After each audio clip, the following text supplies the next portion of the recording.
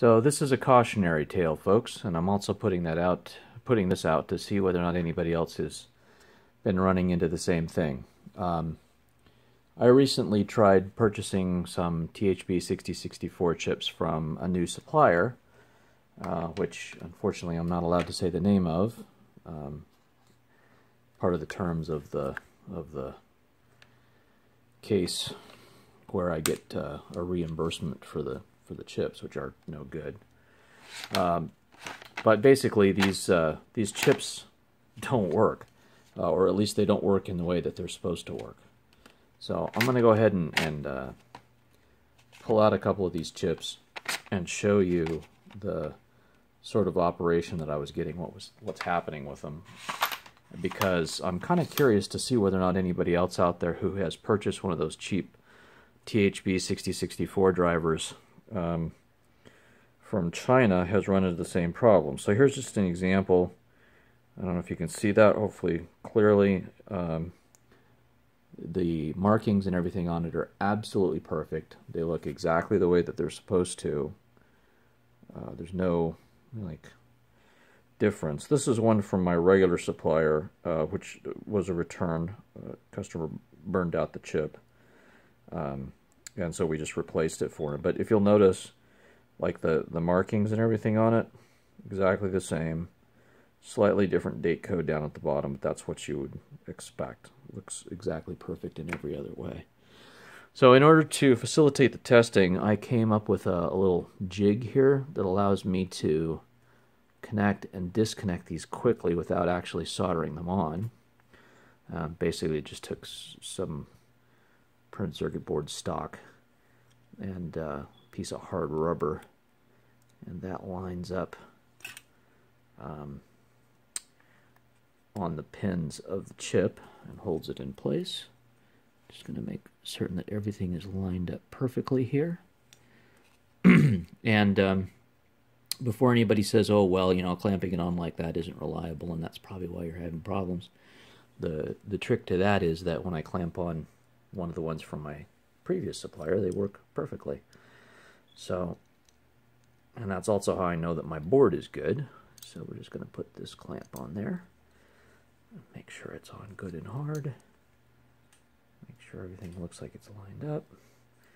Then we take these handles off so that we have room for the big clamp, which goes on over the top of the whole thing holds on the front part. And again, we'll make sure it's on there good and hard. Thing is right. Um, the constant pressure that actually makes a really good contact. I haven't any problems with them at all. Um, so this is the the a slightly unusual build of, of the standard driver that I sell as part of the kit. Um, this has the LM317 um, voltage regulator built onto the board. So it's taking the motor power, which is coming in from here from my standard desktop power supply, and uh, using it to provide the 5 volt logic power.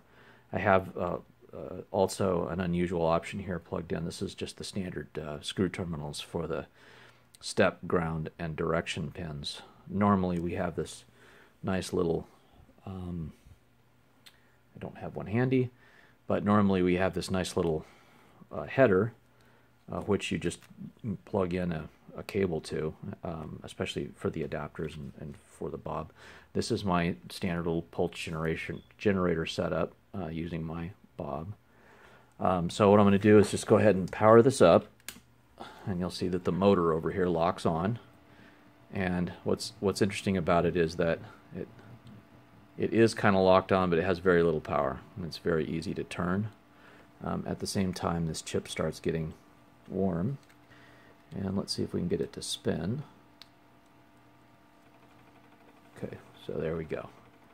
Okay, so we're spinning. So you might have, have purchased this and thought to yourself, oh, well, you know, this is good.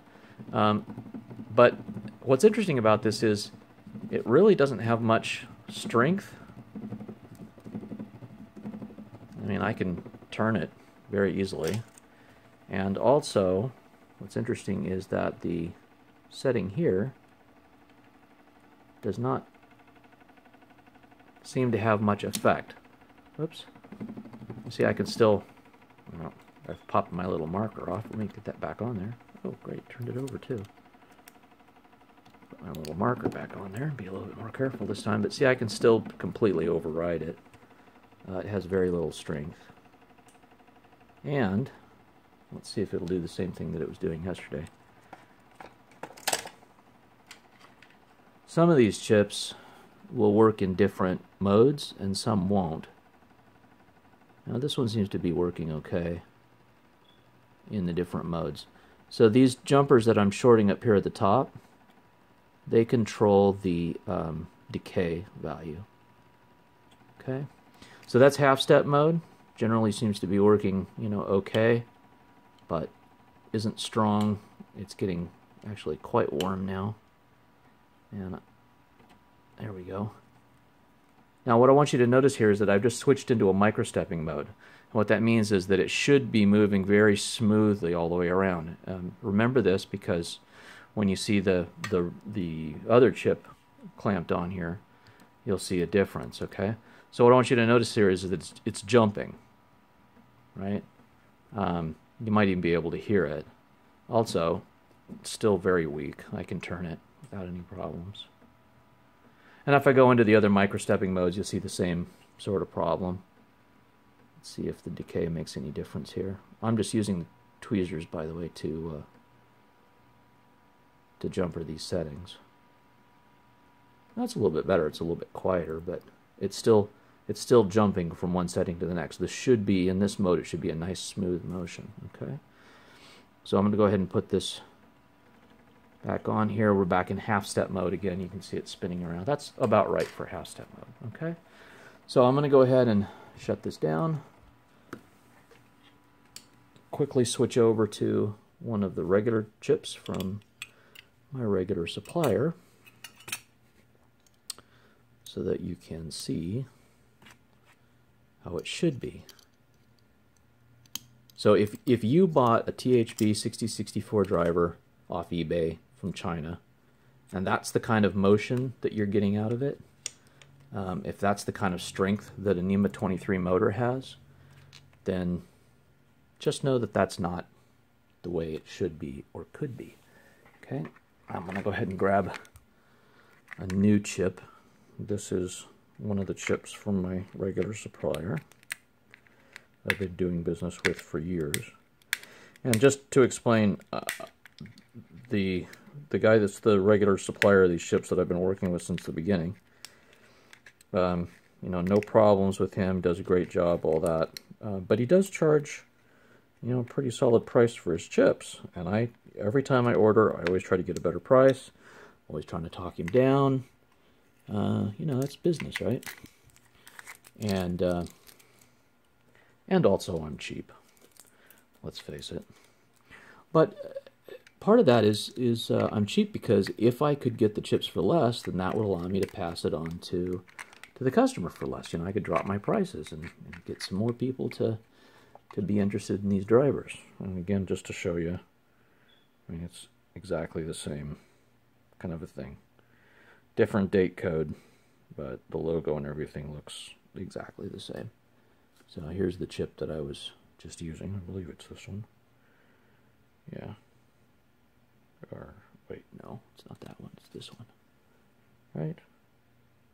No, it was that one.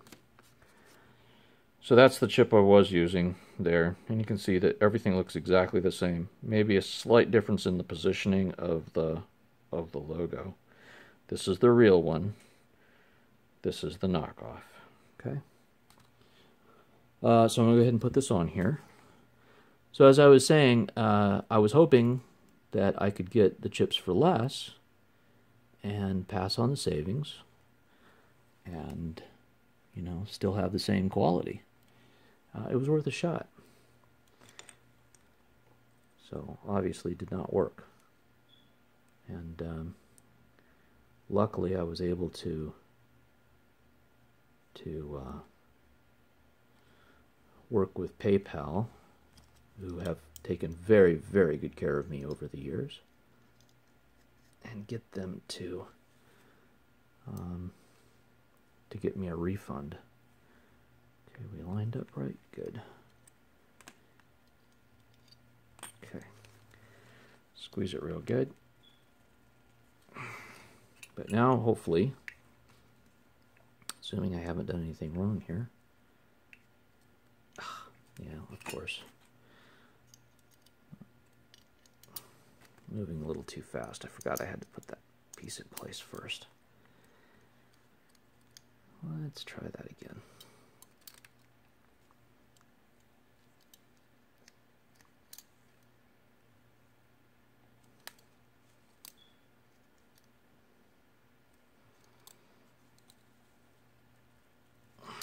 Okay.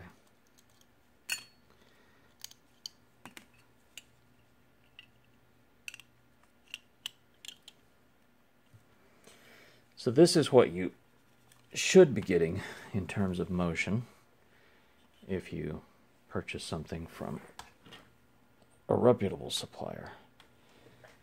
Well, I hope I have that on there right.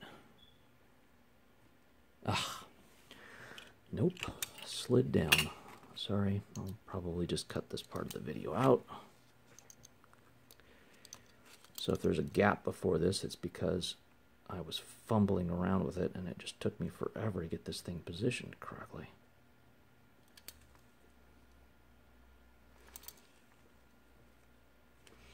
Yeah, that's better.